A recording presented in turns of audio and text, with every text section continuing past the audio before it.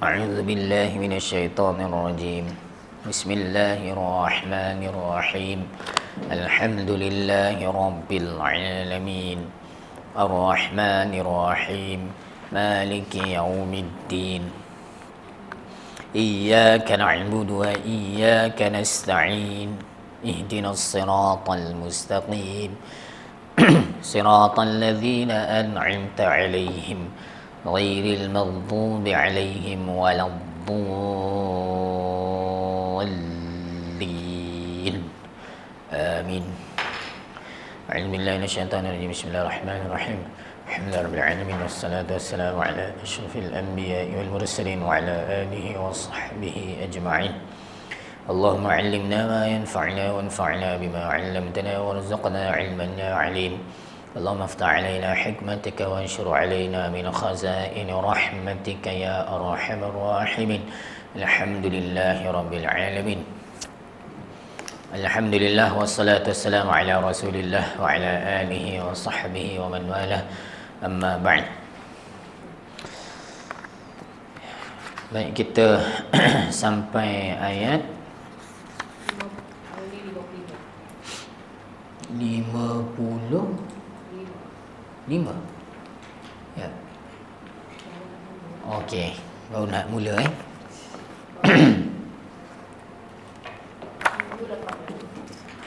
Minggu 18. Okey.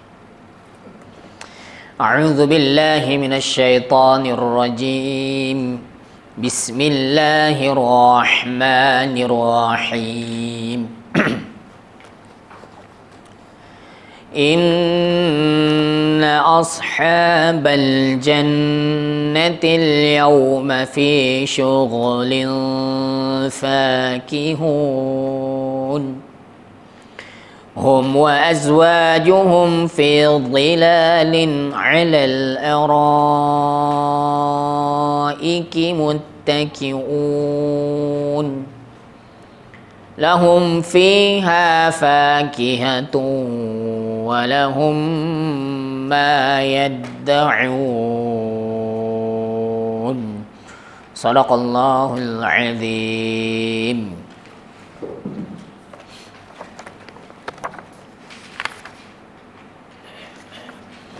Baik, jadi hari ini kita akan membincangkan ayat ataupun topik yang seterusnya eh ayat baharu ataupun uh, topik baharu dalam surah Yasin cerita tentang penduduk syurga.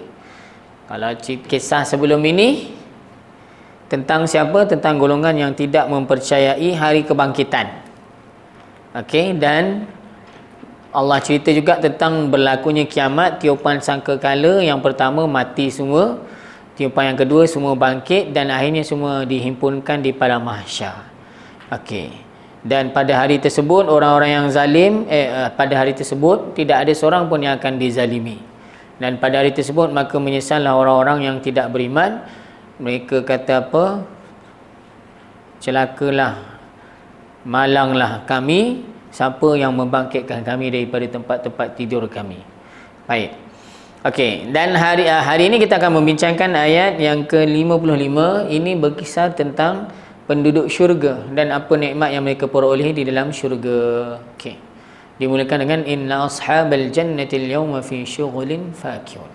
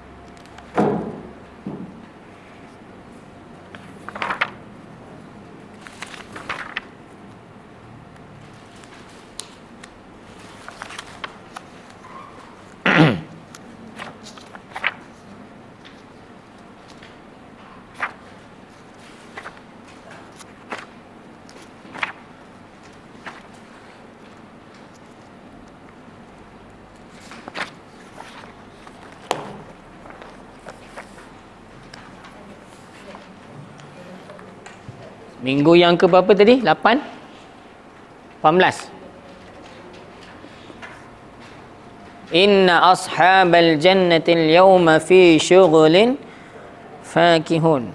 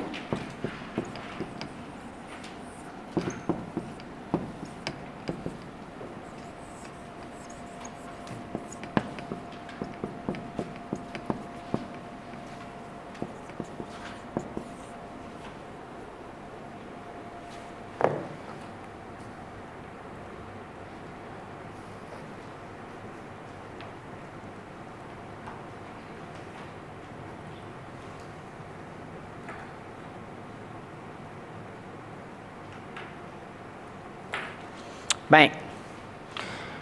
Okey, perkataan dalam ayat ini yang kita dah tahu yang pertama yang popular ialah in nah ma makna inna.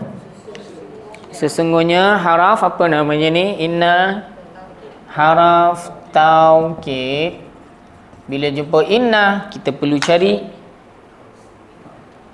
isim inna dulu. Bila jumpa inna kita perlu cari yang pertama isim inna.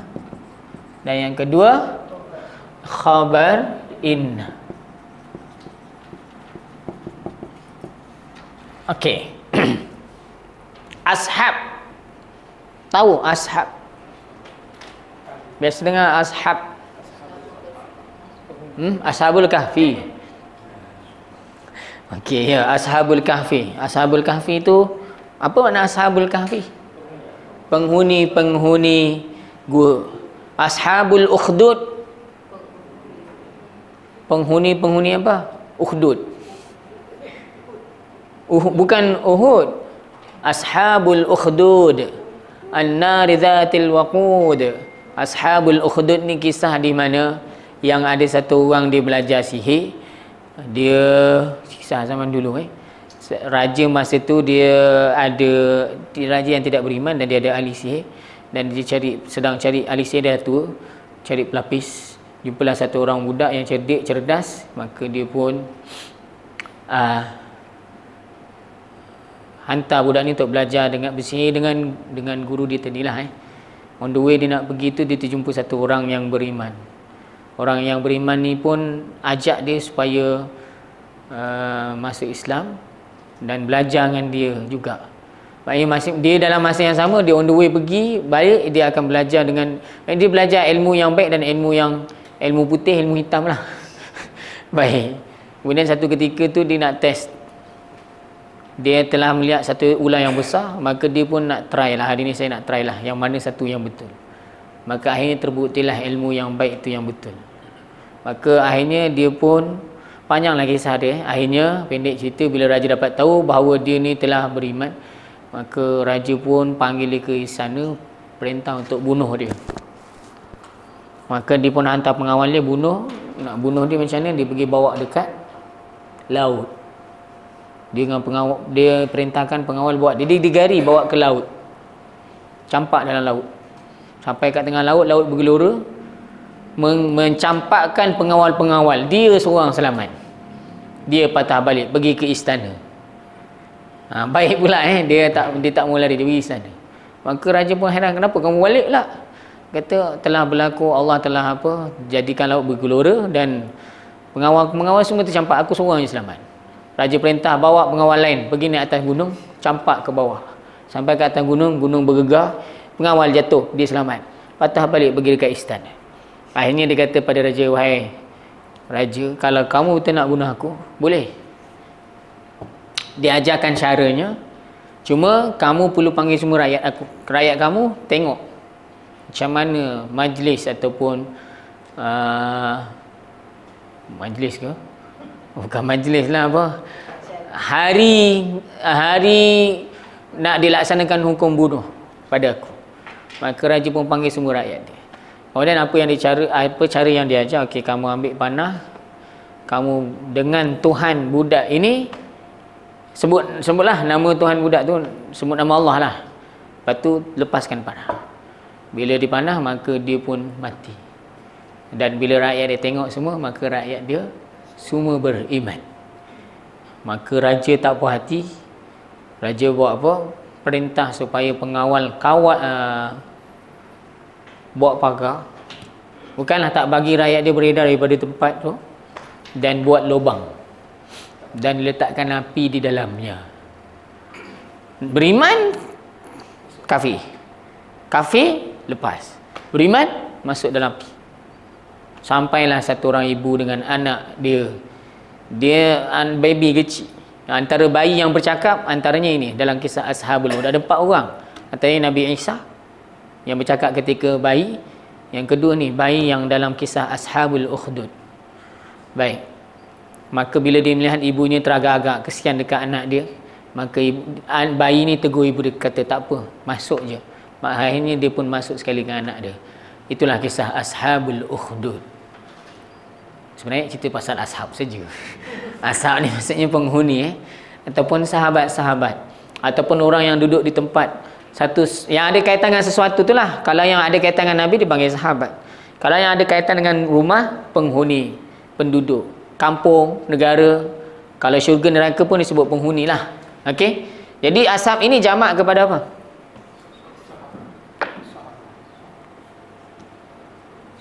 Sahabat. Sahabah. Jamak dia ashab. Ada yang bawa kamu sah? Tak. Tak bawa.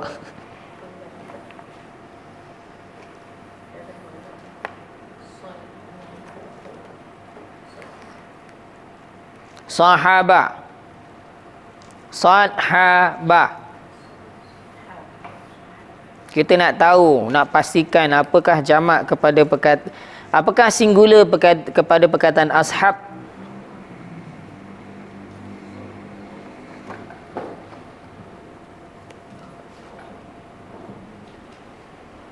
Sahabah. Ada? Tak nampak.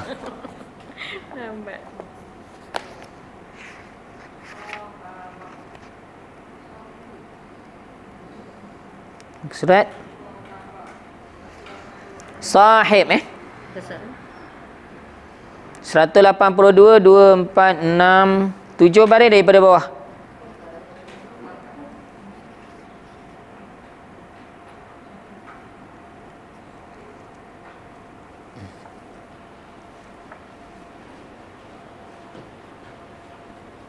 Ya betul. Singularnya adalah sahib. Jamaknya sahbun ashabun sahabah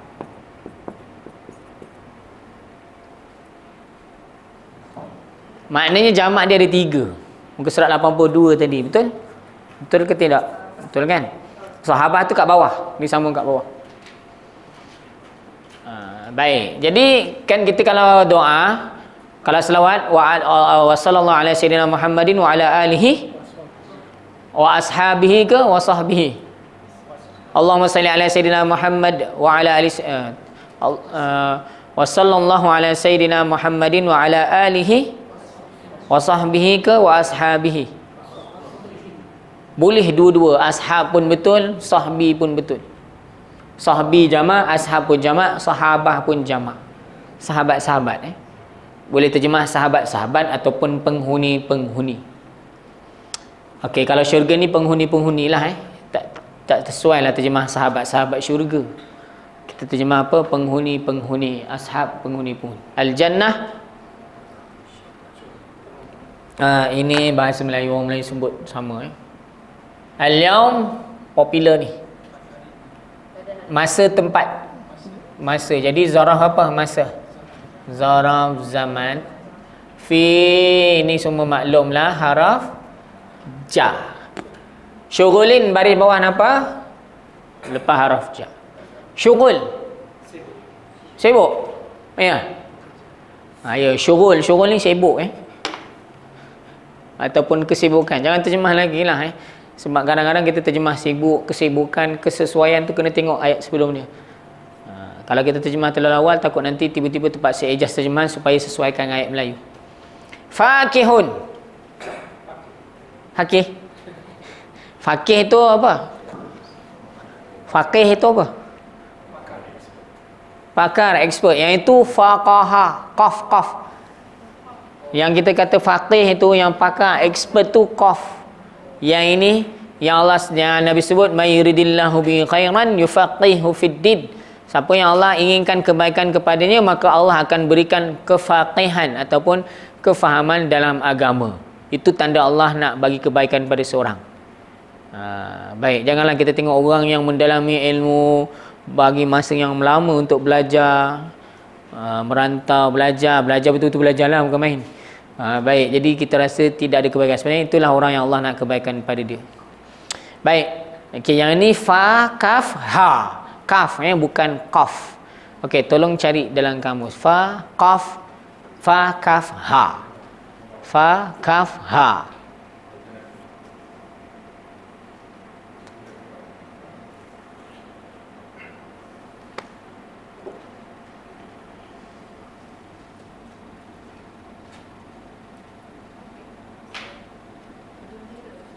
gembira bersenda gurau. Bersenang-senang. Ya ada dah jumpa dalam kamus? Kamus yang yalah sekarang ni sama sekarang ni kan ada kamus online berdanda kan?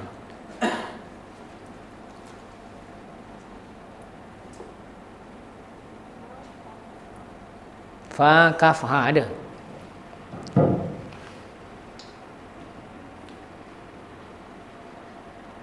fa kaf ha.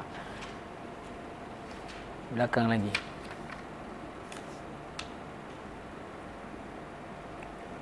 Lagi belakang ni bawah kot. Belakang lagi belakang lagi. Fa kaf. Ni.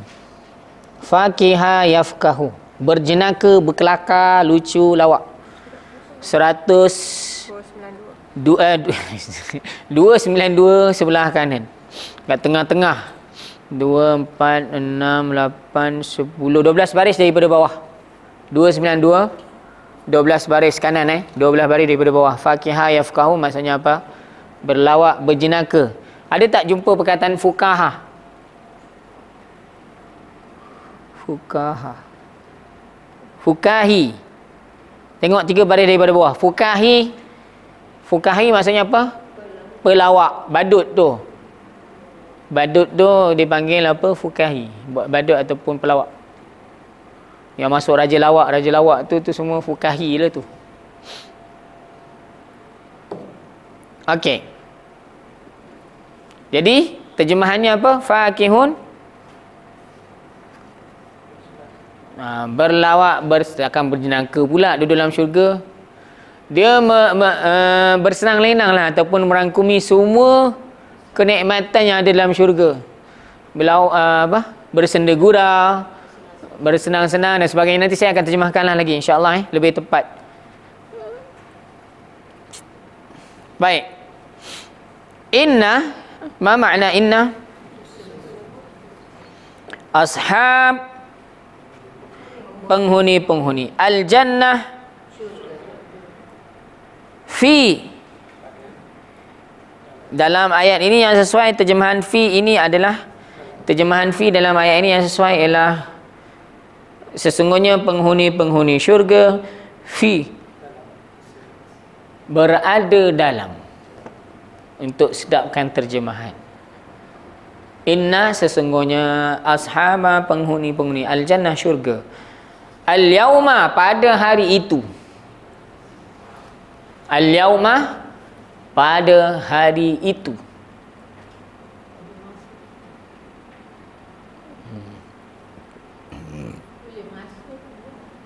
masa pun boleh sebab tapi sebab yaum ni memberi makna hari jadi kita terjemahlah hari itu hmm. maknanya hari kiamat pula eh orang kafir kan dia bukan hari kiamat dah ni al-yauma ni pada hari itu hari di dalam syurga lah ha, kat dalam syurga Inna sesungguhnya ashaba penghuni-penghuni al-jannah eh, syurga yauma al-yauma pada hari itu kenapa ada itu sebab ada alif lam. Kalau yaum mana-mana hari, suatu hari. Bila sebut yauman maknanya suatu hari. Ha, kalau kita buat karangan kan suatu hari ataupun kita dengar penyampaian tazkirah satu hari nanti kita semua akan kembali pada Allah. Jadi dalam bahasa Arab tak boleh sebut al-yauma kena sebut yauman. Suatu hari sebab dia umum. Okey? Fi syughulin. Fi berada dalam keadaan syughul sibuk. Berada dalam keadaan sibuk fakihun. Bersenang lenang ataupun menikmati macam mana nak terjemah. Sibuk? Ha, bolehlah. Fakihun bersenang lenang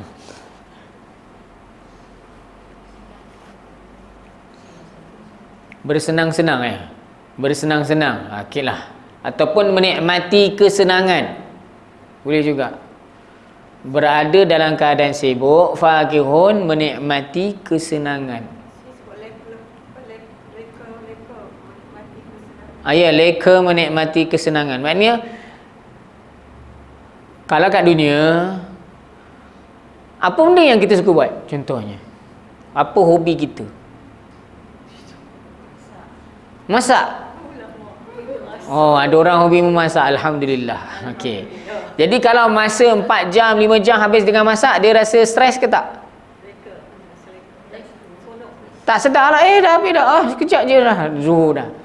Yelah kita masing-masing ada hobi masing-masing kan Kalau orang mancing tu Kalau orang yang hobi mancing kan Pergi 3 hari 4 malam 2, 5, 5 malam Duduk kat tengah hutan Lain tak ada telefon ya, Ada berlaku kisah eh Macam-macam. Eh Yang ni untuk pergi pancing lah. Masalahnya dia kalau memancing Pergi tempat tak ada coverage.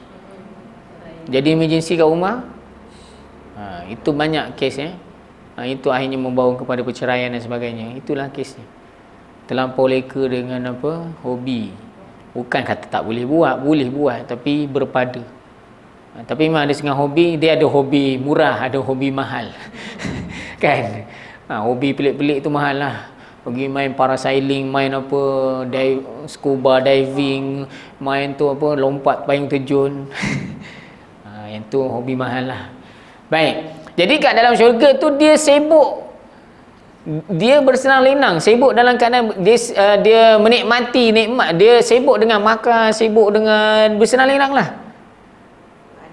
Ah uh, ghalid lah orang kata ghalid ghalid ghalid ha okey. Ha dia asyik leka dengan kesenangan sampai eh buat apa ni sibuk ni sibuk apa sibuk tengah seronok sibuk dengan seronok Yalah macam kalau kita pergi holiday Mesej pun boleh baca ke? Sempat baca?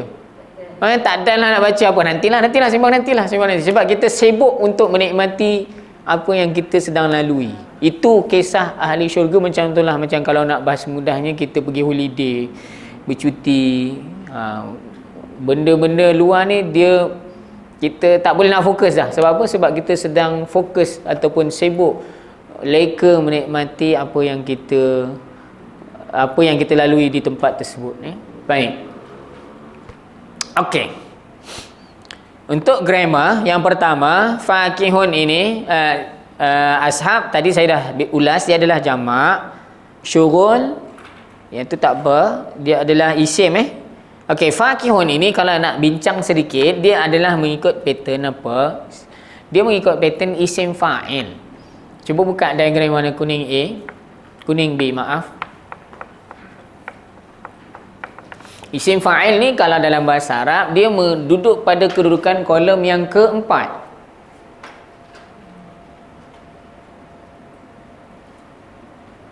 Tengok CV1A. Isim fa'il bunyi macam mana pattern dia? Kolom yang keempat, kuning B. Isim fa'il. Macam mana bunyinya? Fa'ilun. Jadi kita ambil apa-apa perkataan, kalau kita nak jadikan isim fa'il, inilah patternnya.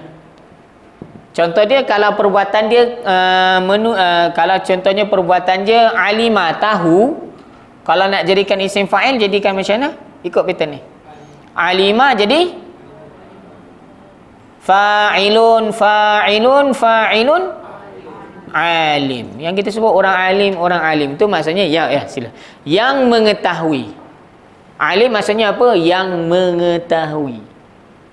Yang alim ataupun yang pakar. Okey? Isim fa'il ini yang menunjukkan yang melakukan. Kalau dalam bahasa Melayu biasanya ada imbuhan pe. Kalau dalam bahasa Inggeris biasanya ada imbuhan er di akhir kalau macam uh, making buat pembuat? Baking kalau kalau baking. Baker lah kalau making. Make make make maker. Kalau speaking? Speaker. Ya betul betul. Ah ya betul. Kalau walking ha, ya, jadi bahasa Inggeris ni tak boleh. boleh memanglah boleh tambah imbuhan ER di akhir tapi kadang-kadang tak kena walker tu benda lain. Okey. Dalam bahasa Melayu pun biasanya imbuhan yang diguna pakai ada apa? Kalau makan yang makan ataupun makan, minum yang minum peminum, kalau lari yang lari ataupun pelari. Kalau main yang main ataupun pemain. Tapi kadang-kadang tak sesuai kalau menangis penangis. Penangis. Ya, boleh. Macam tak berapa dengar lah perkataan penangis. Okey? Ha. Jadi kalau alim yang kalau tahu perbuatan dia yang uh, isim fa'il akan jadi makna yang mengetahui. Kalau tambah apa tak sesuai tak payahlah kalau tak sesuai tak sesuai tak payah. Okey, contoh yang lain. Balagha sampai. Balagha sampai. Kalau nak jadikan isim fa'il ikut pattern atas macam mana? Fa'ilun. Alimun balighun. Apa makna baligh? Penyampai. Ha, ya boleh sebut penyampai ataupun yang sampai. Nah orang Melayu sebut balik balik tu. Ya, sampai um, sampai ataupun bahasa yang lebih sesuai ialah sampai ataupun cukup. Sampai kepada umur uh, matang, jadi kita sebut baligh. Daripada perkataan balagha. Okey. Lagi yang kita dah biasa guna dalam bahasa Melayu, aqala berfikir. Ha, macam mana nak bariskan? Fa'ilun alimun balighun aqilun maksudnya apa? Kat sini semua tak sesuai terjemah apa. Jadi kita terjemah yang je lah. Yang berakal. Uh, boleh juga tapi kita lebih sesuai terjemah yang berakal. Yang mengetahui ataupun yang berilmu lah eh. Yang ni yang sampai ataupun cukup umur. Yang ni yang berakal. Sebab syarat mukallaf antaranya ialah apa? Islam. Islam balik Islam ber eh, kita balik ni selalunya dia dia dipadankan dengan perkataan apa? Yang berakal. Bukan orang Melayu biasa sebut ke balik dengan akil ni? Ha iyalah. Tu balik akil balik, akil balik, akil balik. Akil tu yang berakal, balik tu yang cukup umur. Okey. Jadi syarat utama mukallaf tiga. Yang ini kena paling kurang ada tiga. Kemudian ada tambahan yang lain. Yang pertama Islam. Yang kedua akil, berakal. Yang ketiga balik. Kalau tidak berakal, dia bukan mukallaf.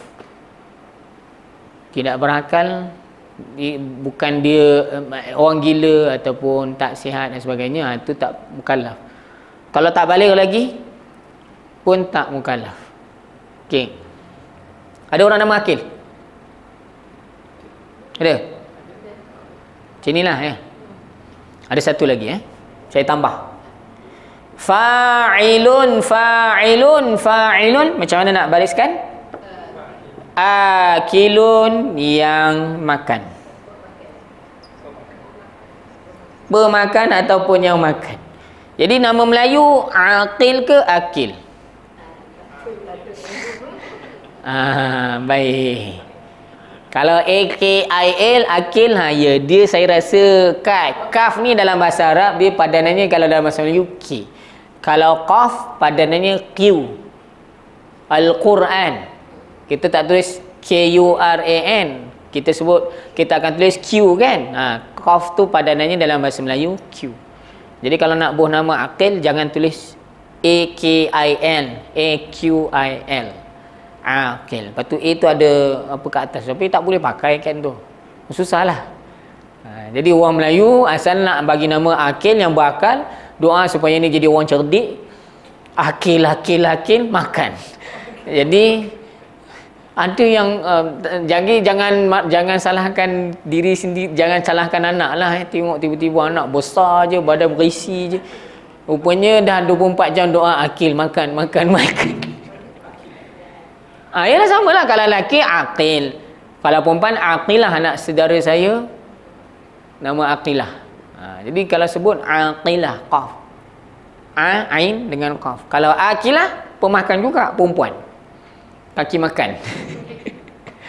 Okey, ha, jadi yang ini dia daripada perkataan fakaha. Kalau kita nak jadikan isim fa'il, fakihah eh tadi.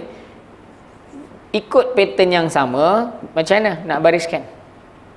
Fa'ilun alimun balighun aqilun akilun fakihun.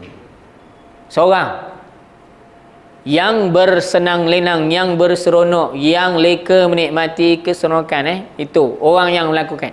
Itu kalau seorang kalau dua macam mana nak sebut? Fakihani ataupun fa fakihah ini kalau ramai? Fa ya? Sebenarnya kalau ramai? Fa? Fa. Laki perempuan ni? Perempuan.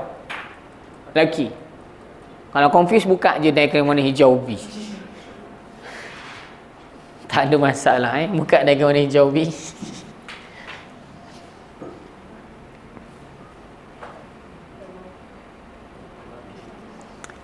ikut saya lah pecahkan semula daripada awal. Kalau seorang yang bersenang lenang disebut fakih. Ikut saya fakih. Kalau yang kita kata orang yang expert tu macam ni jangan dia faqih ah yang ini pun samalah eh. Kalau orang Melayu silap sebut. Nama siapa? Faqih F A Q eh bukan K. Kalau F A K I H faqih ha ni bersenang lenang ha, tapi tak apalah makna tak teruk sangat. Semoga dia jadi orang yang senang lah. Ha, tapi kalau makna asal ni faqih orang yang betul-betul alim ataupun orang-orang yang expert eh? ha, tapi kalau yang ni kalau tukar memang lari makna jauh sangat. Daripada orang yang berakal jadi orang yang makan. Baik.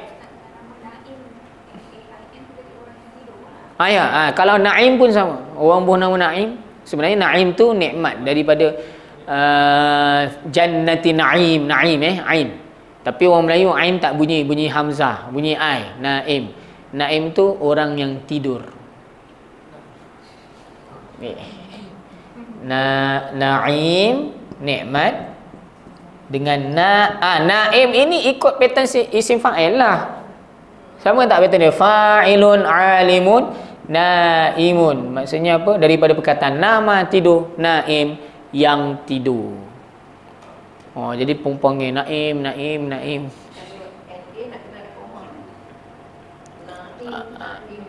Ha, iyalah tu yang masalahnya. Huruf ain ni memang kalau Melayu nak bunyi ain kena ada koma lah. Tapi kalau buh koma pun orang bukan semua belajar bahasa Arab. Dia ada koma pun dia bunyi macam tetap tak betul macam saya buh nama, saya dah cuba cari nama yang tidak ada huruf-huruf yang susah disebut. Abrar, nama anak saya. Tapi orang Melayu, well, ni, pergi hantar kat taska, abrar jadinya.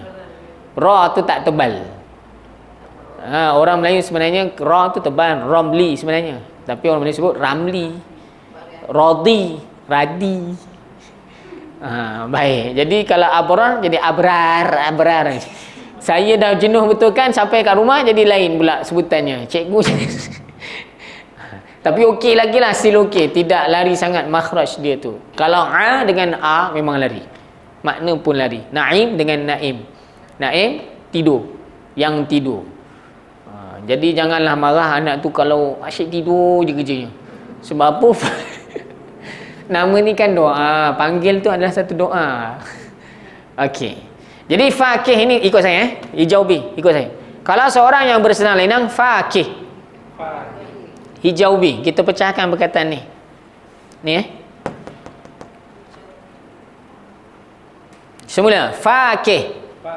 Kalau dua fakihah ni fakihaini ramai fakihuna fakihina dan fakihuna ada di dalam surah ini.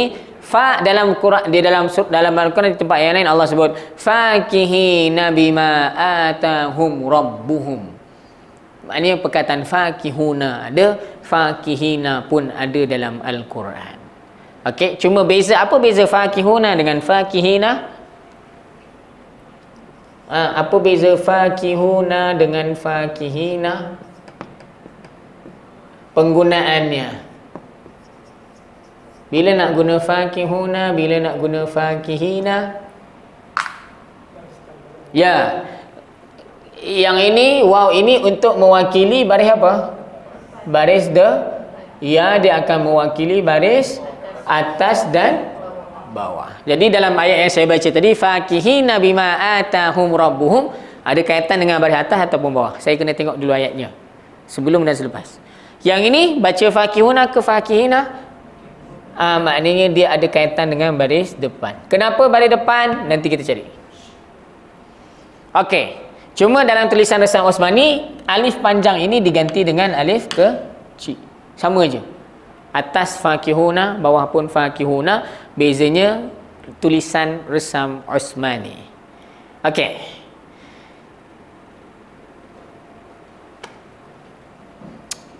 Tadi kita dah jumpa haraf taukid inna, kita kena cari isim inna dan khabar inna. Okey, cuba buka diagram warna balaf saji. Okey, buka balaf saji. Syuf au iftah. Baik. Ah, sebelum tu tadi pagi saya ada iklan pasal saya takut terlupa. Jadi pagi saya ada iklan tentang kelas jari tajwid. Ada yang minta buat untuk hari buat dulu saya sempat buat. Tahun lepas saya ada pernah buat eh hujung tahun yang jari tajwid dulu. Baik, jadi ada permintaan untuk buat saya pernah buat dulu saya buat hujung minggu hari hari Ahad. Ha, tapi ada yang tak dapat bagi komitmen untuk hari minggu ada yang minta supaya dibuat pada hari biasa. Okey, jadi setelah setengah tahun ni baru saya dah cuba cari waktu yang lu, ruang waktu untuk hari biasa pada waktu pagi. Memang tak ada. Jadi waktu yang tinggal yang saya free hanya pada waktu petang hari Selasa. Petang maknanya selepas zuhur sampai asar. Ha, jadi siapa yang berminat nanti saya akan tulislah tarikhnya bila. Siapa yang berminat nanti boleh mesej saya lah eh untuk maklumat saja supaya ha, siapa yang berminat pun tak apa. Cuma siapa yang berminat boleh mesej saya bagi nama sebab saya nak tahu berapa ramai penyertaan. Nanti barulah saya boleh buat keputusan sama ada boleh diteruskan ataupun tidak. Bila cukup bilangan 15 ke atas insyaAllah boleh dimulakan eh. kalau kurang daripada 15 kita akan tangguhkan dulu. Kita cuba buat iklan lagi sampai cukup 15 insyaAllah. Ok baik. Bila jumpa inna kena cari isim inna. Tengok isim inna dalam kumpulan mana Mansub, mansub. Tengok diagram warna purple eh, purple A. Mansub, apa makna mansub? Ah uh, ya, mana dia? Baring atas. Perkataan yang baring atas dalam ayat ni mana? Yang paling dekat dengan inna. Ashaba isim inna. Kemudian satu lagi kena cari khabar inna. Khabar inna baris apa? Baris depan. Ha, mana perkataan baris depan dalam ayat ni? Mana? Fankihuna. Ya, baris depan dia dengan apa? Yang inilah tadi wakil dia ialah waw. Waw mewakili baris depan. Kenapa? Sebab khabar inna baris depan. Jadi dah terjawablah soalannya. Kenapa baris depan? Sebab khabar inna.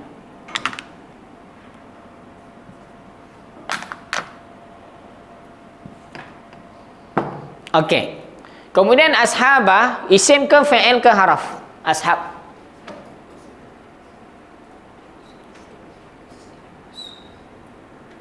Isim?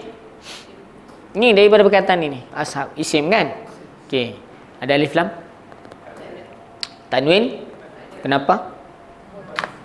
Dia kan, kalau ditanya kenapa baris atas, jawapannya ia adalah isim inna. Ini kaitan dengan sebelum. Kaitan dengan sebelum. Adapun kaitan dia dengan selepasnya, perkataan ashab ni dengan selepasnya kaitannya, dia tak ada alif lam kenapa? Ha, dalam masa yang sama dia adalah mudhaf al-jannah mudhafun ilaih apa tanda dia baris bawah Okey, satu lagi yang terakhir yang kita tak tahu alasan. Al-yauma kenapa baris atas?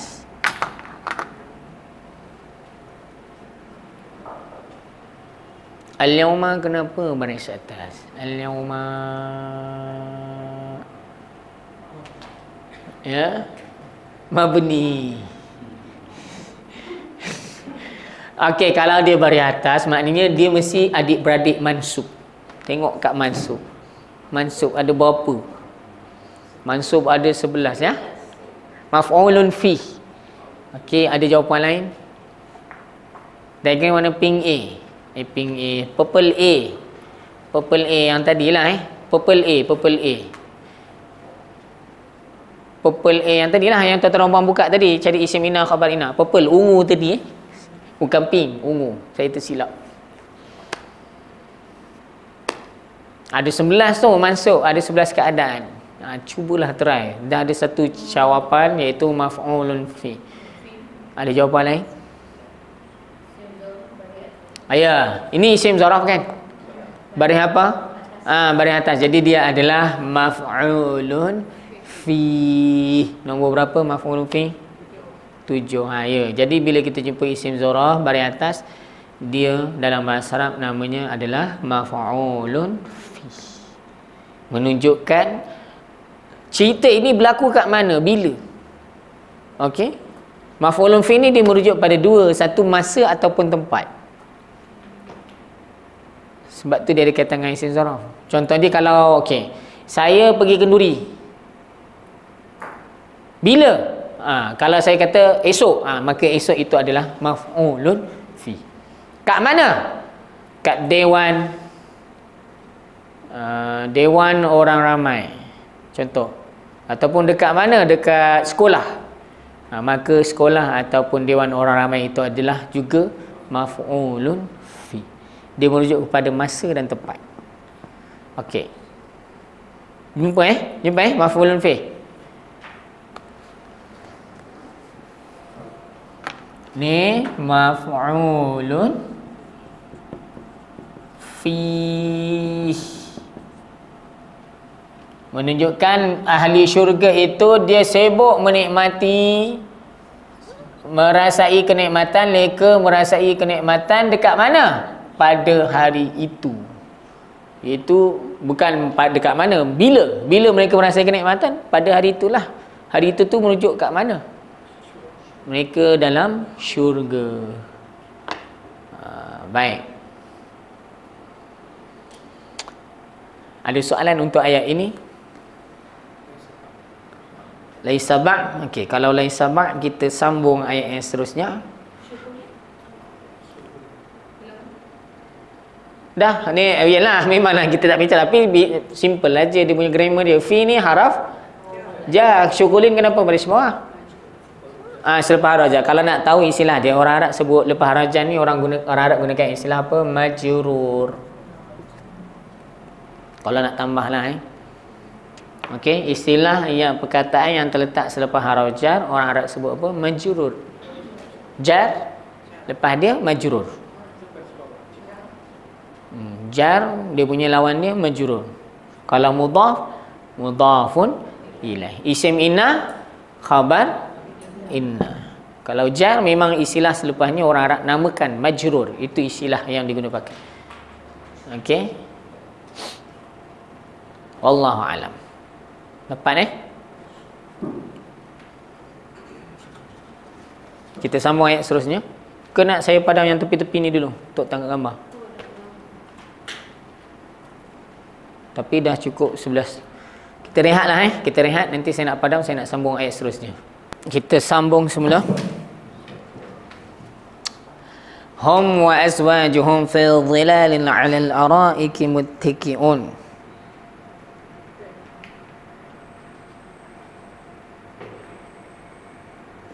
Okey. Yang pertama popular ialah home. Dhamir apa ni?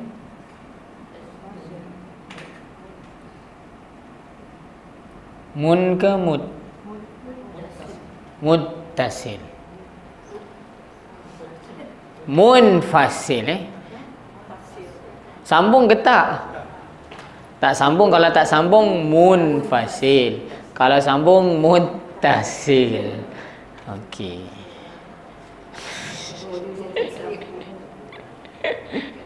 tak apa, tak apa, tak apa, tak apa. Biasa. Okey, baik. Kita ulang kaji eh, Domir. Ulang kaji. Kalau tak payah tengok pun tak apa, ikut saya. Sebut tiga-tiga eh. Siapa nak tengok, pulanglah. Tengok dari kena ping A. Pun ikut saya. Kita sebut tiga-tiga-tiga eh. Baik. Huwa, huma, hum hiya huma hunna anta antuma antum anti antuma antunna. Ana nahnu. Sekali lagi huwa huma hum. Hiya huma hunna. Anta antuma antum. Anti antuma antunna. Ana nahnu. Boleh? Okey wow haraf. Atau sambung eh. Azwaj. Banyak ni perkataan azwaj dalam al-Quran eh. Azwaj ni maksudnya rabbana hablana min azwajina dzurriyyatina azwaj ini adalah jamak kepada zaujun.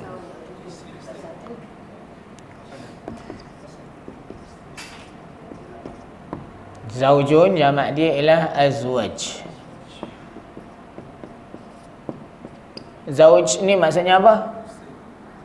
Suami.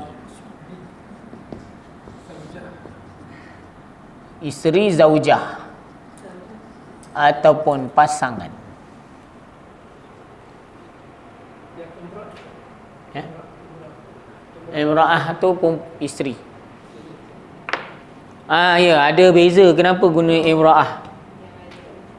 Wa daraballahu masalan ra'ata nuh wa mura'ata lut.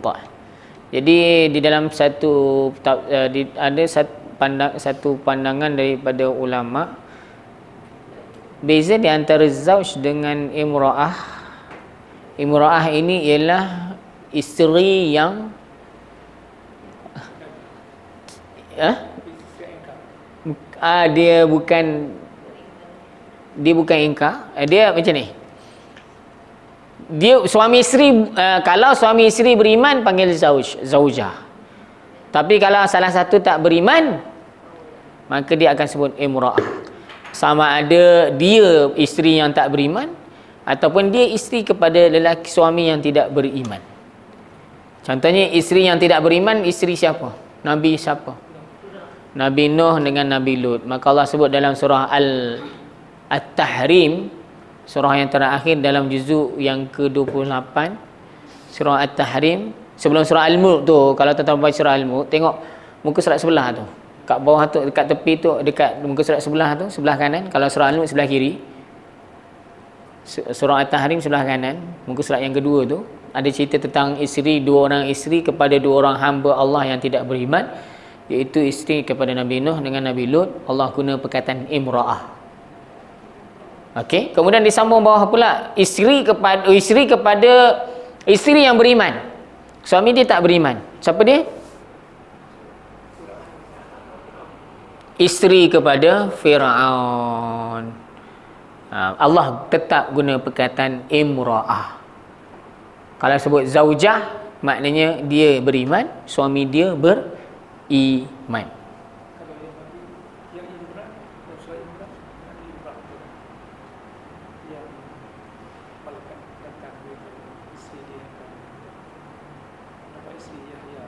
Iz qalat imra'atu imran. Ya guna perkataan imra'ah juga. Ha, sebab tu baik bila saya cerita tentang imra'ah dengan zaujah ni tuan-tuan dan puan ada yang tunjukkan kepada saya rujukannya itulah rujukannya. Tapi bila uh, bila saya teringat ya ayat yang disebut tadi eh, imra'atu iz qalat imra'atu imran rabbi inni nadartu laka ma fi batni. Ketika telah berkatalah isteri kepada imran Imran tu beriman dan dia pun beriman. Ha, lain pula guna imrah juga. Maknanya saya boleh menyangkal pandangan yang mula-mula tadi. Sebenarnya pandangan itu ada yang disebut, ada yang bawa tunjuk pada saya. Ustaz, beza antara zaujah dengan imrah itu. Ha, tapi sebab saya tidak merujuk secara total, jadi itulah yang saya tahu setakat ini. Tapi bila disebut ayat tadi, memang saya teringat memang lafaz dia guna imrah juga. Okey, maknanya saya kena meneruskan pencarian. Okey.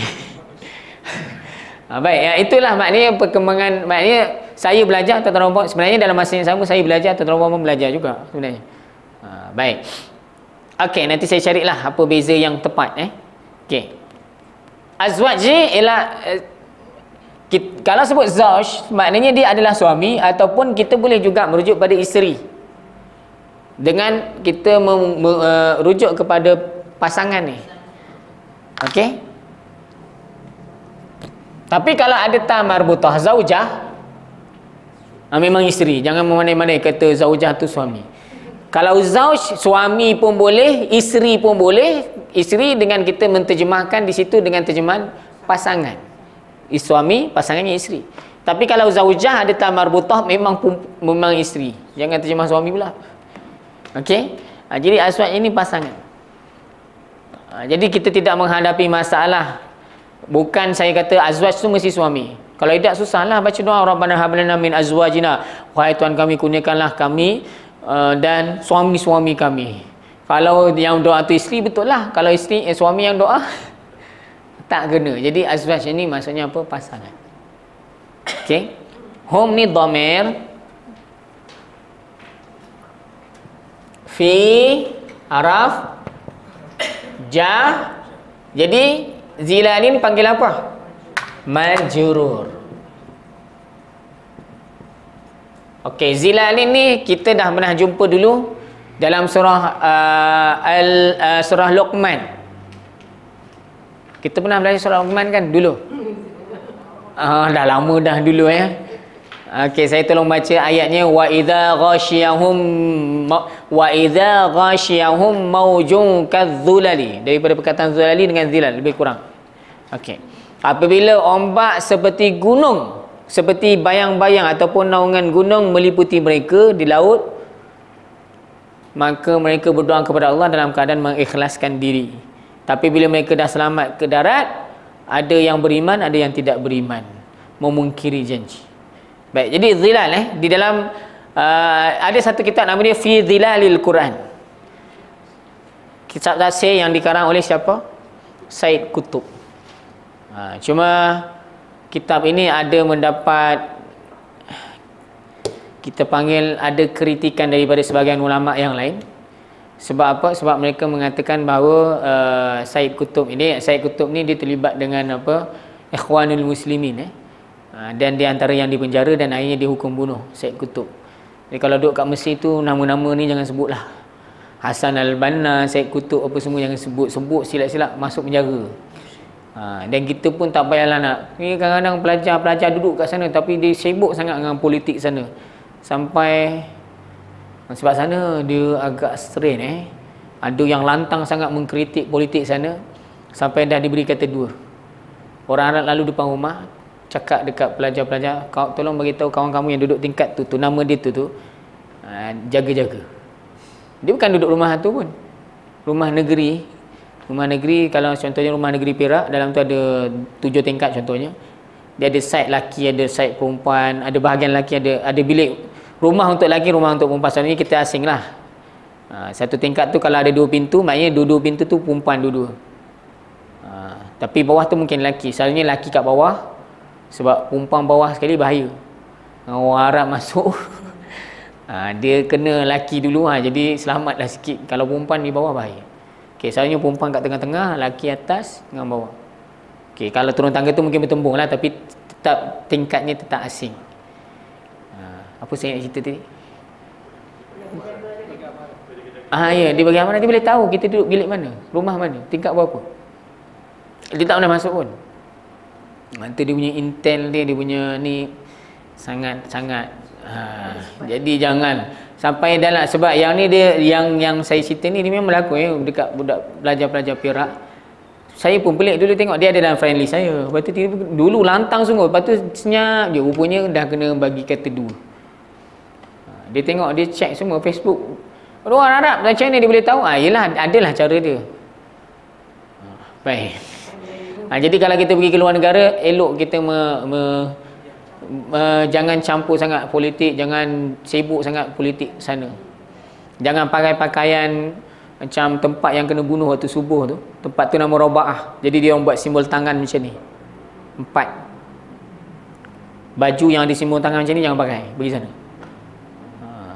Kalau pakai ada jenama apa body glove. Body glove tu kan atau tu lima. Ha, lima tak. jangan empat. Body glove tu satu jari hilang. Dah tertanggal, terkoyak. Ha, hati-hati. Silap-silap nanti kena tangkap. Ha, baik. Okey. Jadi zilal ni maksudnya apa? Cerita tentang saya kutub tadi eh. Semua sebagian ada sebagian ulama mengkritik lah sebab dia bukan uh, dia tidak ber, betul-betul berkelayakan untuk menulis tafsir. Tafsir itu ditulis di dalam penjara eh.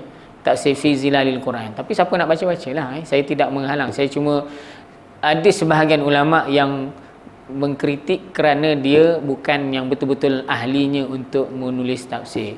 Dia lebih pakar dalam bidang sebab dia terlibat dengan persatuan kan. Dia lebih pakar dalam bidang politik ataupun siasah syar'iyah lah orang sebut. Uh, syariah siasah ni maksudnya dalam kepolitikan ataupun kepimpinan. Uh, jadi dia punya bidang yang itu. Jadi kalau kalau dia bukan orang yang menulis tafsir ni, kalau dia bukan betul-betul bidang, dia takut nanti dia bias. Dia punya pandangan, dia punya ni akan jadi tak tak apa orang panggil tak betul-betul tepat. Ha. Hamka tak tahulah dia memang betul-betul kelayakan dia. Tengok dia punya ni, degree dia apa. Dia punya PhD dia dalam bidang apa. Tengok. Yang tu yang kita nak tahu. Ha, takut kadang-kadang orang dia menulis tafsir tapi dulu dia belajar bahasa macam saya belajar bahasa Arab ataupun di dalam bidang yang betul-betul lain bidang taksir ni kalau dia belajar dulu usuluddin. Fakulti ataupun kuliah usuluddin ah ya memang dalam tu dia ada bahagian tafsir. Ha, kalau dia menulis tafsir lepas tu bolehlah kita betul-betul pakai dia punya pandangan.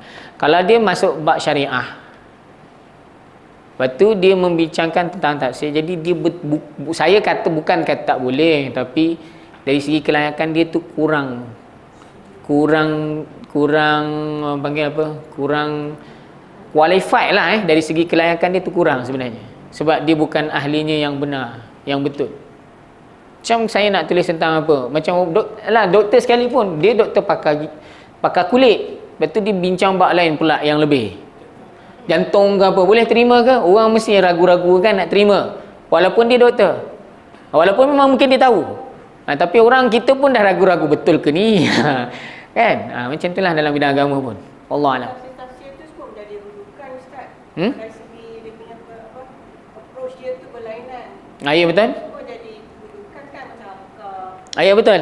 Ah, ya, semua semua jadi rujukan. Cuma itulah kita nak ambil terus pandangan tu kena tengok betul-betul lah orang yang menulis tak kalau tafsir tafsir yang dulu tafsir Ibnu Kasir tafsir Munir yang eh tafsir Munir tafsir yang terkini tafsir Ibnu Kasir tafsir apa lagi jalan lain yang saya pakai kat depan ni. Taksir Zamakhsyari ini taksir ulama-ulama dulu insya-Allah semua boleh kita pakai. Yang saya cerita ni taksir yang terkini. Antaranya taksir Munir eh. Taksir Munir dengan taksir ni lah. Fi zilalil Quran tafsir Al-Azhar yang dikarang oleh uh, apa Hamka. Ha, yang tu kita kena betul-betul check betul-betul sama ada dia ini layak ataupun tidak. Kalau dah baca baca je lah eh. saya bukan menghalang. Cuma kena berhati-hati ha, supaya pandangan kita tu kita bersandar kepada orang yang betul okey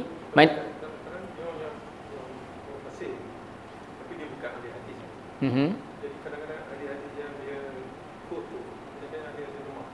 Ha ya, ya itulah masalahnya. Kalau dia bukan kalau dia bukan bidangnya, contohnya tafsir ni berkait mesti akan berkait rapat dengan hadis. Ha, sebab itulah usuluddin dia, dia punya line dia memang usuluddin. Usuluddin akan belajar hadis dengan tafsir. Syarah kepada hadis dipanggil kitab syarah. Kalau syarah kepada al-Quran dipanggil kitab tafsir. Ha, jadi dia memang dia line dia, dia memang kena belajar benda tu semua. Jadi kalau dia quote ataupun dia ambil petik mana-mana hadis, sebab ialah dia nak mengiyakan pandangan ideologi dia. Kadang-kadang dia ambil hadis yang mana hadis tu dhaif ataupun hadis tu maudhu barangkali wallah alam saya tak kata dalam tafsir zilalil Quran ada wallah alam. Ini sebagai pandangan uh, supaya tuan-tuan puan boleh nampak. Ha, boleh? Okey. Jadi kita sebagai orang awam seeloknya kita ambil uh, pandangan saya kalau nak baca kita ambil lah tafsir yang lebih uh, apa orang panggil yang lebih lama lah eh. contohnya macam tafsir Ibn Qasir tafsir apa jalan lain tafsir Al-Wajiz pun moden tapi dia ringkas jadi tidak ada pergi kepada mana-mana dia tak kupas dalam sangat. Okey. Wallahu alam.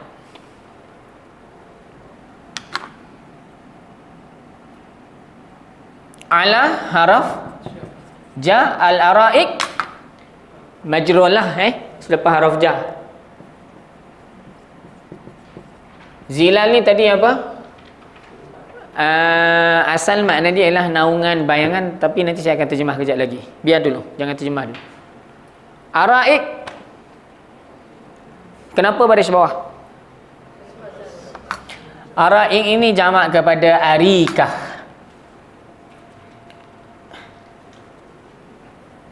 Arikah. Arikah ni apa? Tak tahu pula. ya, itulah jawapan yang tepat dia. Entahlah. Baik, kita tak pernah bincang surah Al-Insan eh. Okey, kalau pernah bincang dalam surah Al-Insan ada. Muttaqiina fiha 'alal araik. Al-araik ini jamak kepada arikah. Arikah ni kalau kita tengok dalam terjemahan araik kalau tengok dalam terjemahan ada yang terjemah dipan-dipan.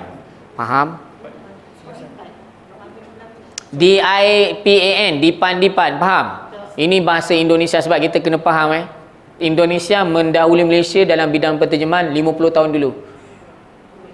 50 tahun awal daripada kita. Kita banyak Sebab tu dulu kita tengok banyak taksir daripada Indonesia. Terjemahan ni macam Kakek lah uh, apa Dipan lah Dipan tu mungkin bahasa sana. Okay. Terjemahan lain ialah pelamin Ataupun sofa. Jangan terjemah lagi.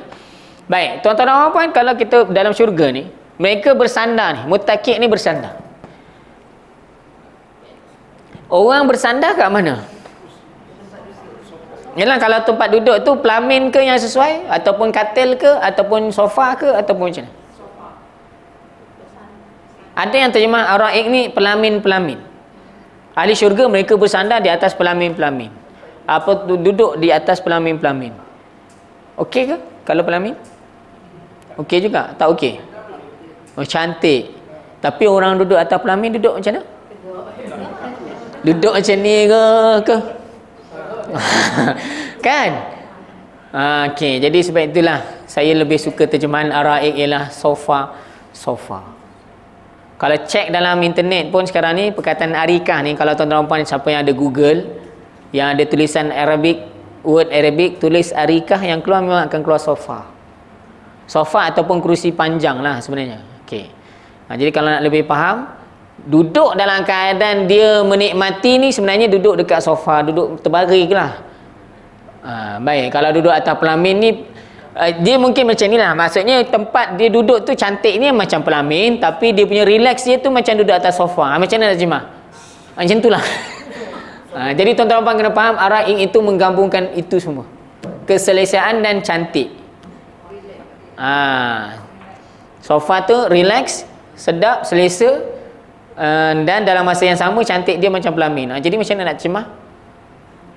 Saya tak saya tak boleh terjemah pelamin sebab nanti tak orang duduk atas pelamin kaku je kan, tegak je. Uh, batu tahan nafas je.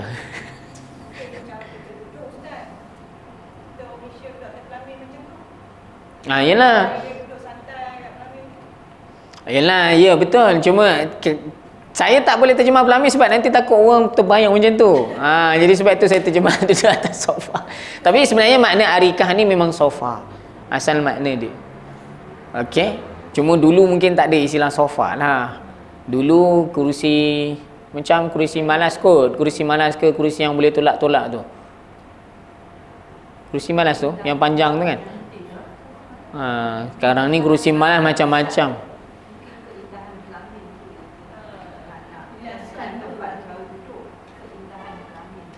Sebab dia ada sebut mutakik mutakik ni bersandar ha, dia mak maknanya memang dia akan bersandar dia bukannya duduk tegak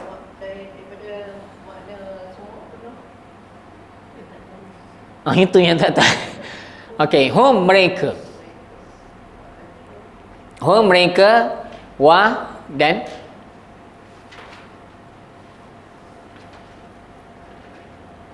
hum mereka wa dan azwaju. Pasangan-pasangan hum mereka. Azwajuhum pasangan-pasangan mereka.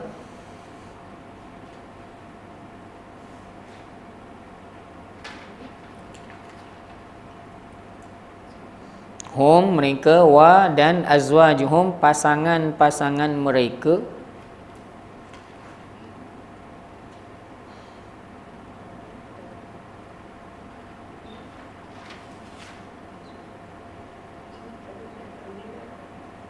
ya. Fi uh, fi zilalin. Di bawah teduhan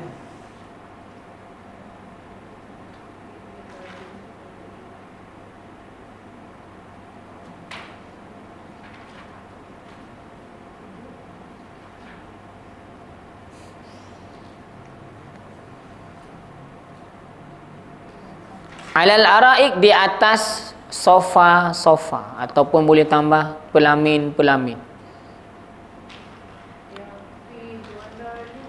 Fi zilalin di bawah naungan. Di bawah teduhan. Naungan ni macam di bawah teduhan lah. Bayang-bayang sebenarnya zilal ni bayang-bayang. Fi zilalil Quran di bawah naungan di bawah teduhan Al-Quran. Fi zilalin di bawah mm, teduhan Kalau kat syurga nak berteduh di bawah apa? Pohon syurga besar mana? Ya, oi besar tu besar mana?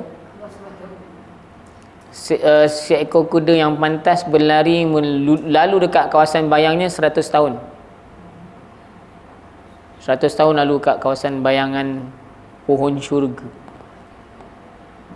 Jadi dia orang duduk kat mana bawah pohon. Besar lah pohon tu tak tahulah besar mana. Baik. Okey. Alal araik di atas sofa-sofa ataupun pelamin-pelamin. Muttaqiun bersandar. Mereka bersandar.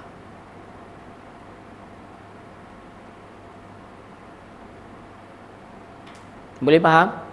Mereka dan pasangan-pasangan mereka di bawah teduhan atas sofa-sofa mereka bersandar. Boleh faham?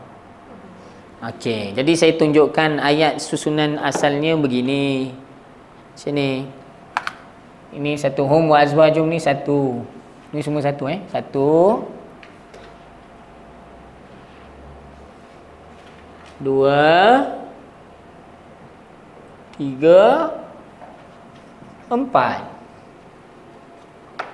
Nombor ni saya tulis untuk supaya kalau kita tengok dalam terjemahan supaya lebih dipahami kita terjemah ikut susunan nombor. Mereka dan pasangan-pasangan mereka bersandar di atas sofa-sofa ataupun pelamin-pelamin fi zilalin di bawah teduhan. Kan? Boleh faham? Ha, itu ceritanya. Ya?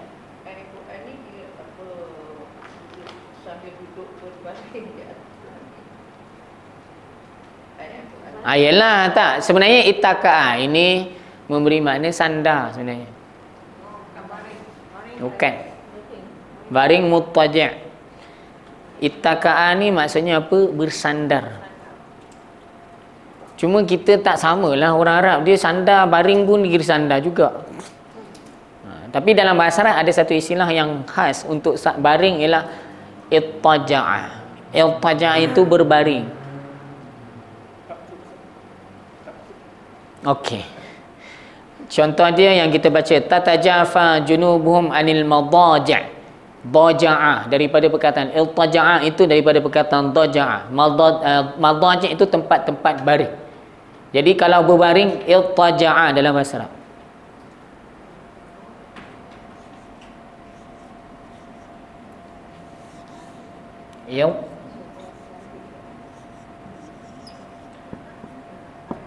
Il iltaja'a dalam Al-Quran madaja'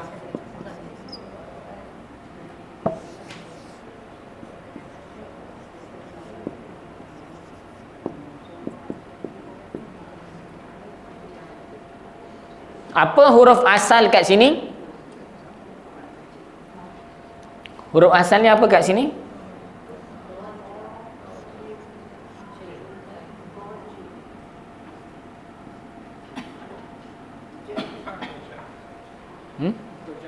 Daja'a. Itu huruf asalnya Kan dalam surah Yasin Dalam surah Al-Sajdah uh, Tatajafa junubuhum anil madaja' lambung mereka jauh daripada apa?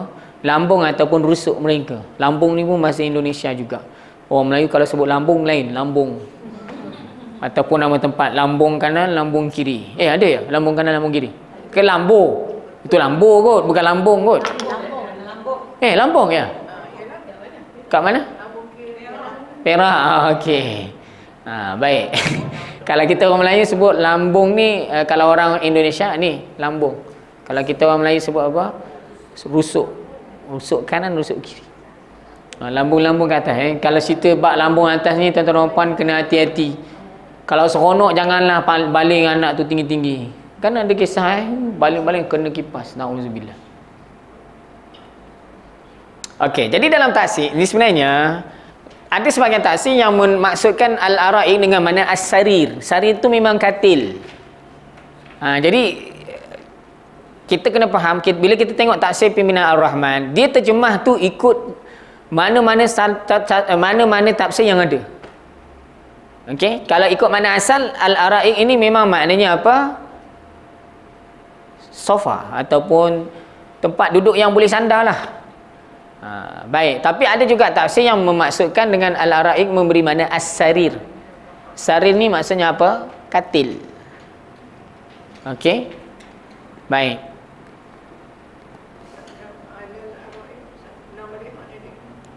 atas sofa-sofa ataupun pelamin-pelamin.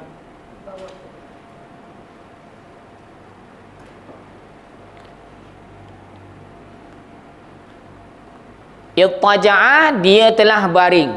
Madaja' tempat-tempat pembaringan ataupun tempat tidur. Katil lah. Eh, bukan katil. Kita terima tempat tidur sebab tak semua orang tidur atas katil. Bersandar. Mereka bersandar.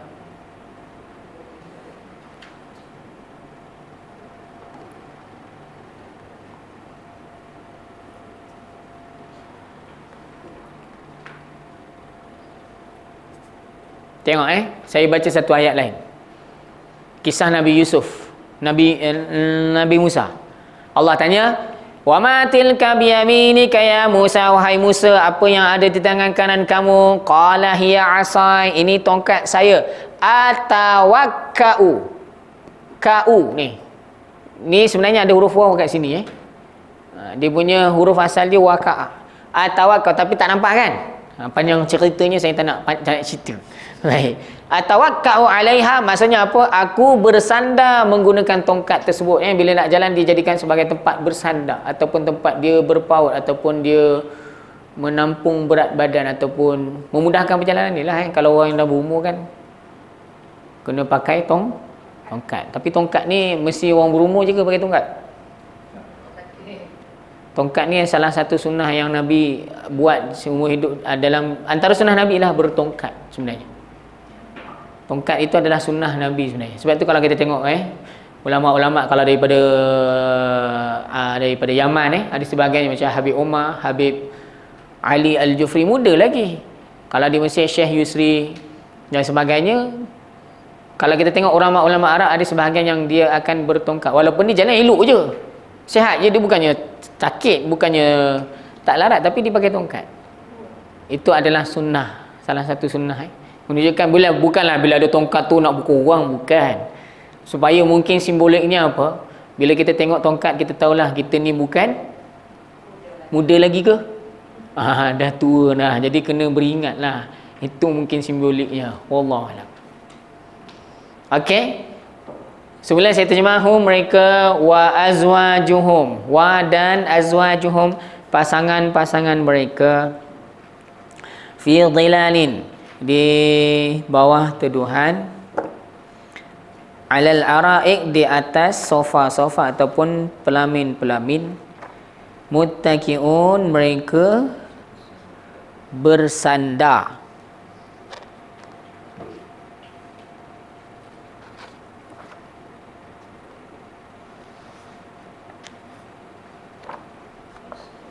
Kalau dalam surah uh, dalam surah Al-Insan disambung ayat selepas tu apa? Dah bersandar di atas sofa-sofa wadaniyatan alaihim zilaluha wa dhullilat qutufuha tadlila. Dekat buah-buahan yang ada dalam syurga senang untuk dipetik. Dan dipermudahkan untuk petik semudah-mudahnya. Jadi ulama tafsir, buah itu mudah untuk dipetik macam mana? Apa maksud buah itu mudah dipetik? Kalau kita faham macam mana? Macam mana mudah petik? Rendang lah eh. Rendah, rendang. Okey, jadi dia ya? Okey. Jadi di dalam tafsir ada dua tafsiran. Satu, maksud mudah untuk dipetik buah syurga ni ialah buah syurga ini boleh dipetik dalam keadaan kita berdiri pun boleh petik, duduk pun boleh petik, baring pun boleh petik. Maknanya dalam setiap level tu ada buah. Kat sini boleh ada buah. Kalau duduk, Sini ada buah, kalau baring kat tepi itu ada buah. Itu satu. Tapi yang lebih hebat lagi tafsiran satu lagi. Buah tu dia punya dia punya apa dahan dia tu melentur pergi kat kita. Nak buah lah. Shoo, turun. Yang mana lagi hebat? Ah, jadi dua-dua itu ada dalam tafsir. Maknanya mereka sebenarnya dia boleh maksudnya sama ada berbaring tu sama ada di baring duduk sandar kat kursi ataupun dia terus baring. Ha, sebab itulah ada ada yang tafsir baring, ada yang tafsir al-ara ini maksudnya bukan sofa tapi katil. Ha, jadi itu semua adalah pandangan ulama. Jadi kita boleh terimalah mana-mana. Okey, cuma dari segi makna asal muttaqi ialah memberi makna bersandar, bukan baring. Ha, itu makna asal. Okey. Baik. Grammar pula.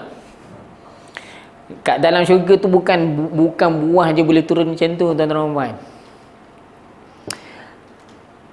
sungai. Sungai kat dalam syurga Allah sebut dalam ayat apa ayat yang ke ayat yang ke ayat awal-awal lah. Ainan fiha tus uh, innal abrara yashrabuna min ka'sin kana mizajuha kafura ainan yashrabu biha ibadullah yufajjirunaha tafjira. Mereka minum di dalam syurga daripada satu mata air nama dia, uh, minuman tu campurannya kafur. Minum arak campurannya dengan kafur. Kafur tu apa bukan kapur ya bukan kapur barus bukan. Kafur ini di, adalah satu mata air yang ada di dalam syurga yang mana mereka boleh memancarkannya dengan semudah-mudahnya. Jadi ulama taksir macam ulama taksir apa maksud mereka boleh memancarkan air mata air ataupun sungai yang ada dalam syurga tu semudah-mudahnya? Maksudnya macam mana? Maksudnya ialah mereka boleh nak supaya air itu keluar daripada mana-mana boleh kalau kat dunia apa benda yang ada uh, bahasa mudah je kat tangan kita ni ada remote lah. Kalau kat dunia ni apa yang kita boleh kontrol daripada jauh? Apa?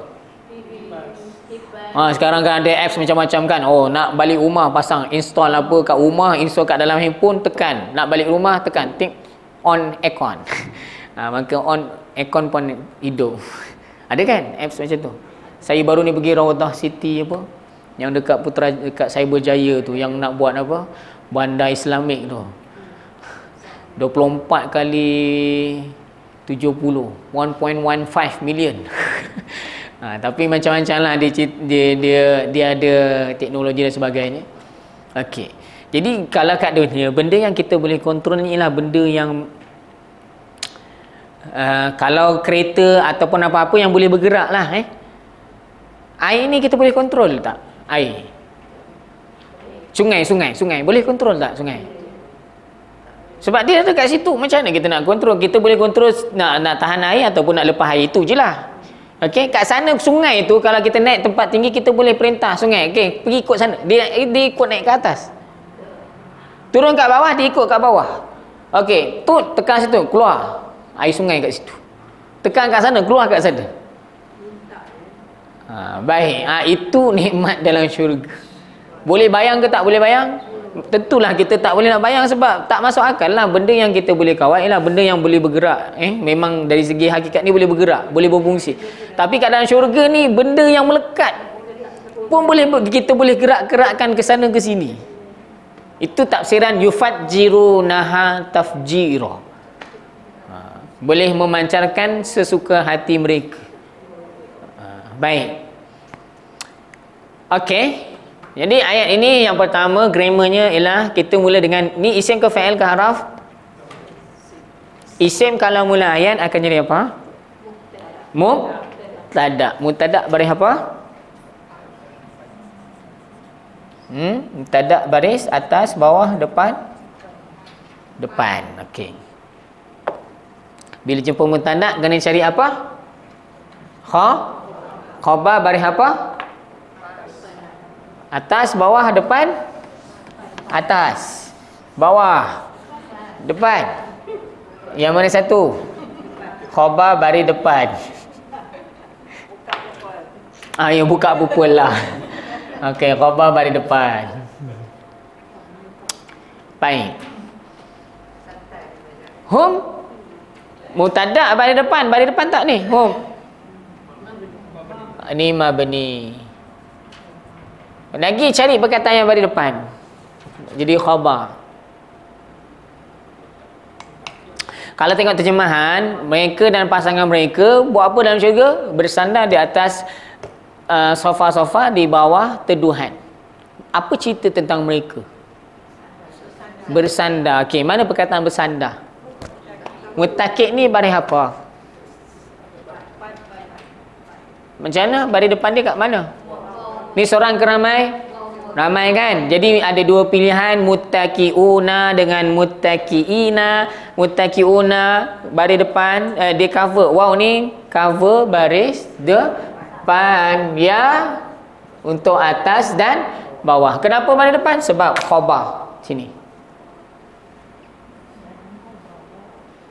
Okey, sebab tu saya tengok nombor Sebenarnya ayat kalau nak mudah faham, kita tangkap khobar dulu. Ha ya, memang kalau kita kalau ayat kalau kita terjemah terus tak faham mereka dan isteri mereka di bawah teduhan atas sofa bersandar. Apa cerita ni sebenarnya?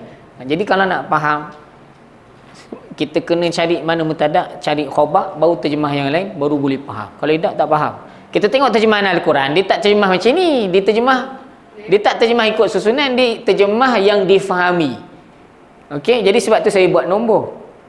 Ha, walaupun kita belajar tajuk, basicnya kalau belajar mutadak ni, lepas mutadak khabar, tak semestinya dalam Al-Quran lepas mutadak, terus khabar. Kadang-kadang ni, diselangi dengan beberapa patah perkataan, ha, jauh. Okey. Lagi, yang kita jumpa dalam ayat ini ialah, waw ni haraf ataf. Lepas haraf ataf, apa namanya? Perkataan yang terletak selepas haraf ataf apa? Diagram warna purple A. Hmm. Tajuk. Dekat diagram mana purple? Ungu. A. Wow ni di bawah um, apa ni Arab ataf ni apa yang ada kaitan dengan Arab ataf? Ma'tuf tu apa? Ma'tuf tu perkataan yang Ma'tuf ialah apa?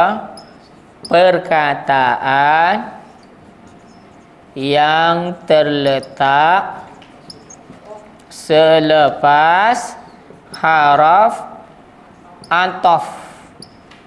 Itu dia ma'tuf. Perkataan yang terletak selepas haraf ataf. Okey, dan ma'tuf ini termasuk dalam kumpulan apa? Tawa. Apa makna tawa? Ikut. Jadi maknanya dia bagi apa ni kat sini? Azwaj. Yang pertama dia terletak perkataan ini terletak selepas haraf ataf jadi dia adalah ma'tuf. Dan apa barisnya? Apa baris azwaj kat sini? Kenapa dia bagi depan? Diikut siapa? Hum. Tak bagi depan? Hum mati bila sebut baris ni tengok huruf akhir kan? Kan? Ha. Sebab dia adalah mamni. Dia ni mutadak kan? Mutadak baris apa? Mutadak sepatutnya baris depan tapi tak baris depan kenapa? Sebab mabni. Ha, jadi dia tak ikutlah baris yang zahir. Uh, dia akan ayo uh, dia kat sini kena belajar hakikat lah sikit ni. Tuan-tuan rumah belajar bahasa Arab ni kena banyak belajar hakikat. Makrifat. Jangan tengok zahir saja. Zahir dia memang mati tapi hakikatnya dia sepatutnya kena baris depan mutada okey? Jadi sebab tu baca azwaju. Okey? Mereka dan pasangan-pasangan mereka bersandar di atas sofa-sofa di bawah teduhan. Uh, baik jadi ini menunjukkan satu kenikmatan yang ada dalam syurga eh. Kalau kita lah eh, macam tu puan-puan lah ataupun uh, tuan-tuan puan ataupun ibu-ibu ayah-ayah. Uh, dah sampai ke umur bersara ni rasanya nak duduk rumah macam mana? Kalau lah rumah impian lah nak duduk rumah yang macam mana? Rumah kecil. Lepas tu? Oh yelah penatnya nak ngemas. Kat kat depan rumah tu nak ada apa? Taman. Ada taman ya? Ada bunga ya? Nak ya kita nak pandangan tu jadi seronok eh. Allah sebut dalam Quran dalam surah Al-Insan juga.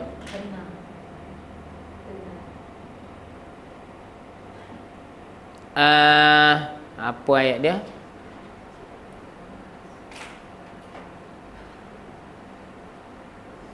Uh, mereka memakai pakaian sutera dan mereka berada di dalam kebun-kebun ataupun taman-taman.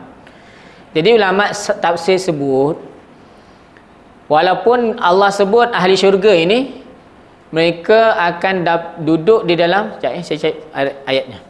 Ayat ni anda nak tanya apa-apa tak? Untuk grammar ke? Ada? Tak ada eh? Dari sabak. Sekejap eh, saya cek.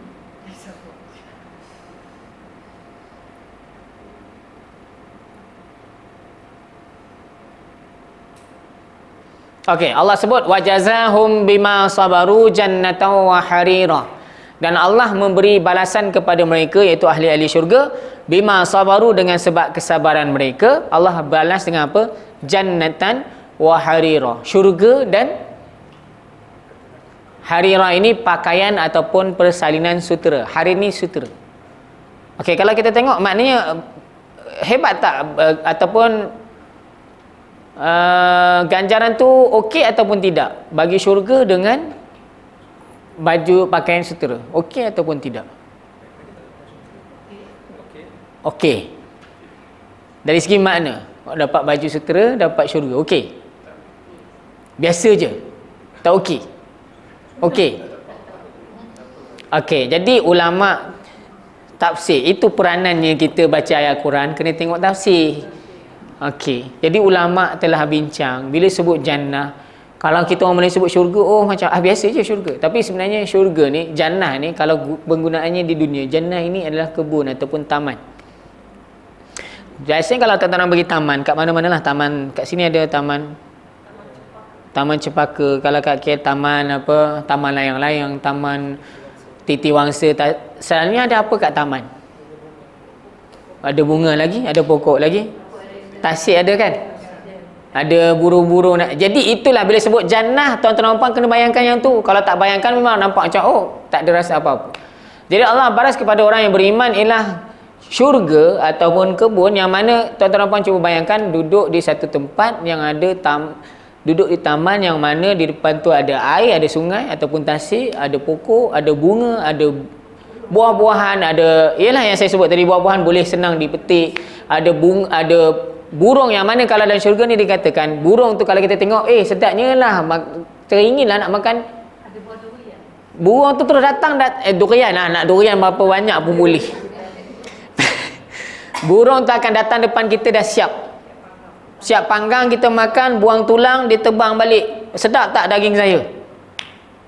Itu syurga punya kisah eh. Ha, baik. Ok jadi bila sebut jannah syurga kita kena bayangkan yang tadi Jadi kalau macam sebahagian kita yang dah besar, yang dah besar mungkin antara yang kita harap ialah supaya depan rumah kita ni cantik ada taman kalau ada gazebo atau atau apa-apalah eh. Tempat kita duduk-duduk minum-minum tengok kan? Ha, jadi pemandangan tu harira itu merujuk kepada apa? Segala jenis persalinan bukan sutera je yang lain pun ada. Tapi sebab apa? Sebab apa sebut sutera? Sebab sutera ini adalah pakaian yang paling uh, special lah yang ada kat dunia. Kalau dapat sutera yang lain pun insyaAllah akan dapat. Uh, maknanya dia menggabungkan nikmat luaran dan nikmat yang ada di sekeliling dan satu lagi yang ada dekat badan. Bila sebut sutera maknanya daripada atas ke bawah satu sut. Uh, semua sekali. Bila kita bayangkan macam tu barulah kita baca seponok kalau tak uh, dapat syurga dapat pakaian sutera. Oh okey. Tak rasa apa-apa Ah ya itu semua kena bayangkan yang tadi yang dapat apa air tu yang mana kita boleh kawal daripada sana sini boleh. Ha, itu yang kena bayangkan. Wallahu a'lam. Okey. Jadi semoga Allah jadikan kita semua di kalangan ahli-ahli syurga. Amin. Yalah. Tapi dia adalah satu yang mahal dan harganya mana bayarannya kat mana? Kat dunia lah. Ha, itulah dia punya kita panggil apa bayaran untuk masuk ke syurga. Apa yang kita buat kat dunia. Okay. Wallahu a'lam. Ayat seterusnya?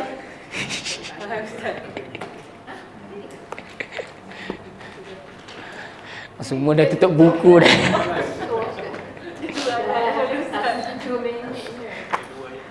Ha, ya, oh dah dua ayat dah.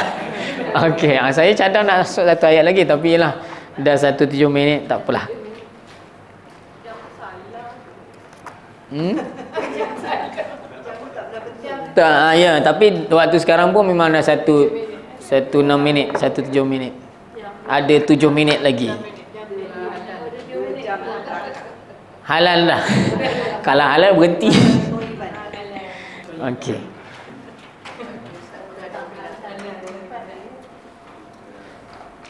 Dan di dalam syurga sikit lagi saya tambah Dalam syurga ni kita tidak akan Allah sebut dalam Al-Quran Dalam surah Al-Insan juga La yarona fiha syamsan wala zamharira Dalam syurga kita tidak akan melihat keterikan matahari Dan tidak sejuk yang terlampau sejuk Jadi cuaca tu adalah sedang-sedang Kat mana?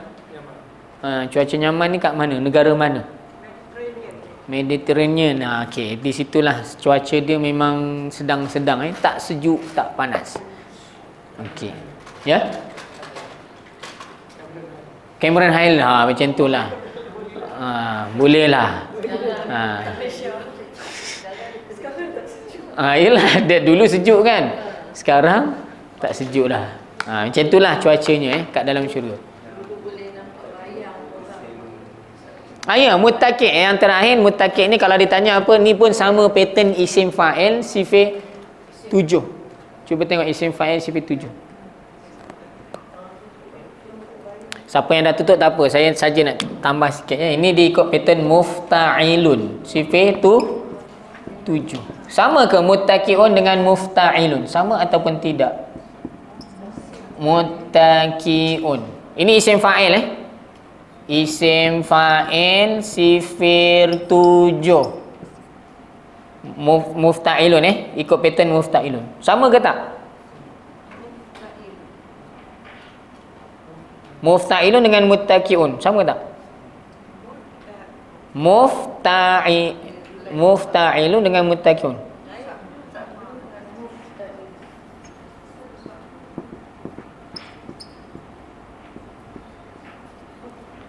Muf mut ta ta.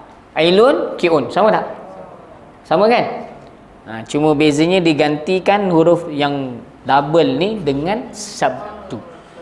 Ha, maknanya kalau ditanya apakah uh, muttaqi ni ikut pattern mana dia mengikut pattern isim fa'il juga yang yang buatlah. Kalau sandar ber, yang bersandar. Tapi kalau tak sesuai tak payahlah terjemah yang tu. Terjemah je lah bersandar ha, mereka bersandar kalau terjemah yang bersandar mereka dan pasangan-pasangan mereka yang bersandar jadi tak sesuai dengan ayat Melayu kita tak payah terjemah yang cuma kalau ditanya apakah bentuknya dia mengikut pattern apa isim fa'il sifir berapa sifir tujuh wallahu a'lam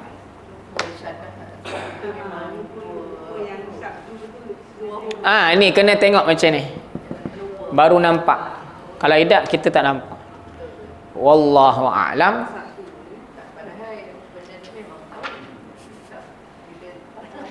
Tak apa, tak apa. Subhanallah wa bihamdihi Subhanakallahumma wa bihamdika Ashhadu an la ilaha illa anta Astaghfiruka wa atubu ila Bismillahirrahmanirrahim Al-asrin al-insan la fi khusr Illa alladhina amanu wa amilu salihat Wa tawasaw bil haqqi wa tawasaw bil sab A'udhu billahi minasyaitanir rajim Bismillahirrahmanirrahim Alhamdulillah alamin Wassalatu wassalamu ala ashrafil anbiya wal mursalin وعلى آله وصحبه أجمعين.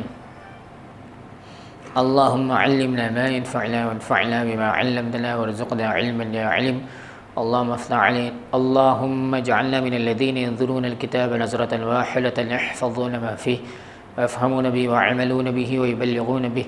اللهم إنا نستودعك ما علمتنا فرد إلينا عند حاجاتنا ولا تنسناه يا رب العالمين. والحمد لله رب العالمين. تقبل الله منكم.